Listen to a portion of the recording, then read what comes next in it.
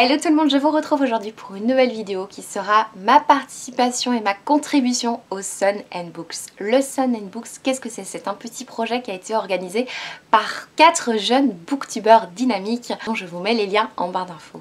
Ils ont organisé une énorme chaîne de vidéos qui nous fait voyager à travers le monde entier. Tous les jours, un booktuber vous présente un livre qui se passe dans un pays euh, différent. Donc vous voyagez euh, depuis un mois maintenant euh, partout dans le monde. Et aujourd'hui, j'ai décidé de vous faire vraiment voyager puisque je vais vous présenter un livre qui se passe dans un train lors d'un voyage entre Paris et Bruxelles. Hier, vous aviez eu rendez-vous avec Cédric Armen qui est un jeune booktuber que j'aime beaucoup regarder parce qu'il a énormément d'humour. Je trouve que ses vidéos sont toujours très très complètes, très originales. Cédric Armen nous a fait voyager dans le Nevada aux états unis donc je vous mets bien évidemment le lien vers sa vidéo en barre d'informations. Cette fois-ci, aujourd'hui, nous allons retourner en Europe. Nous allons prendre le train et de Paris, nous allons arriver à Bruxelles.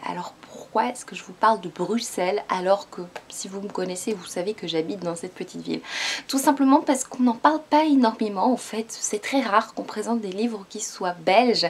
Et l'auteur ici de ce livre est belge, j'avais vraiment envie de vous partager mon pays. En effet moi je ne vais pas vraiment voyager mais vous si vous ne connaissez pas Bruxelles vous allez peut-être voyager. En tout cas euh, le temps de cette lecture.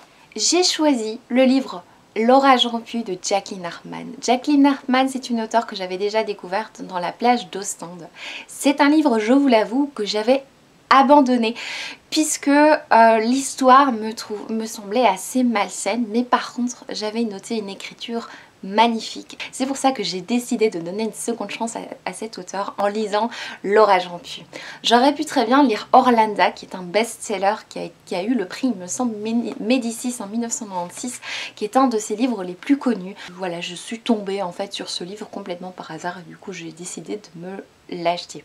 Dans ce livre, deux personnages vont se rencontrer dans le wagon-restaurant euh, du train qui relie Paris à Bruxelles. Donc pendant deux heures, ces deux personnages vont commencer à se confier l'un à l'autre. Donc c'est l'histoire d'une rencontre, d'un coup de foudre, voilà, de, de destin croisé, mais c'est surtout une non-histoire puisque on retourne énormément dans le passé. Donc en effet c'est un voyage entre Paris et Bruxelles mais c'est aussi un voyage dans le temps puisque Cornélie, notre héroïne, va beaucoup parler de son passé, de petites anecdotes assez drôles et assez euh, cocasses qu'elle va vivre dans son enfance. C'est une non-histoire dans le sens où il n'y a pas du tout d'action dans ce livre. Donc ne vous attendez pas à euh, un livre, une romance avec énormément d'action. Non, ce sont des, des confidences en fait au sein d'un repas qui va durer deux heures, des confidences sur 150 pages où nous analysons euh, deux personnages mais surtout un personnage, le personnage de Cornélie qui est un personnage profondément indécis.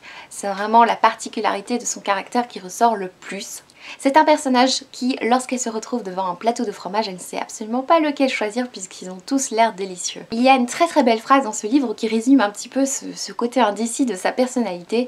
Cette phrase est celle-ci. Cornélie n'a pas de volonté propre, disait-il, et je ne me serais bien mordu les lèvres d'orage, mais je savais que si j'avais choisi la ville, deux minutes ou cent mètres plus loin, j'eusse été convaincue que j'avais envie de la campagne. L'auteur Jacqueline Hartman est une auteure qui est psychanalyste et du coup qui aime beaucoup analyser euh, les sentiments, les personnages, les situations et c'est aussi un personnage qui aime beaucoup parler d'amour. L'analyse est vraiment très très importante dans ce livre. Alors c'est pas du tout une analyse rébarbative, saoulante, c'est vraiment une analyse qui grâce à une très belle plume nous fait euh, nous identifier à ce personnage de Cornélie. À beaucoup de moments je me suis dit mon dieu mais ces petites réflexions sur le caractère de Cornélie ça, ça me rappelle moi-même en fait des choses que j'ai vécues, que j'ai ressenties. Grâce à cette analyse des sentiments et des actions nous nous sentons vraiment proches des personnages. L'auteur aime bien faire des digressions et du coup partir euh, voilà des chemins qui sont vraiment très très très loin de, l'idée de départ. C'est un livre vraiment très très original puisque vous n'allez pas vraiment vivre une romance où, il y a un, dialogue euh, à un rythme assez effréné, pas du tout justement. Euh, c'est vraiment presque des monologues en fait. Les personnages vont se dévoiler, raconter des anecdotes sur leur passé et euh, ils vont se retrouver des points communs et c'est ça qui va faire qu'ils vont avoir une espèce de coup de foudre l'un pour l'autre et qu'à la fin de ce voyage, ils, vont devoir décider s'ils se retrouvent ou pas. Euh, il n'y a pas énormément de suspense dans ce livre puisque on sait que c'est vraiment une histoire qui ne durera que deux heures puisque ça s'appelle L'orage rompu. On sait que déjà dès le départ comment ça va se dérouler sur la fin. Donc il ne s'agit pas du tout d'une romance à la Christian Higgins ou autre chose. C'est vraiment tout autre chose. C'est vraiment une expérience plutôt intérieure plutôt qu'une relation euh, extravertie. Ce qui est très très particulier dans ce livre, c'est l'écriture de l'auteur. Elle a vraiment une écriture très très belle, très majestueuse. Elle fait des très très belles métaphores et surtout, elle a une écriture très très sensible et très humaine. Je m'étais dit à un certain moment que c'est pas vraiment une écriture qui nous ferait frissonner ni quoi que ce soit. Et puis j'ai retrouvé une déclaration d'amour qui était tellement merveilleuse que voilà c'est vraiment quelque chose qui m'a fait frissonner plus que toute autre chose.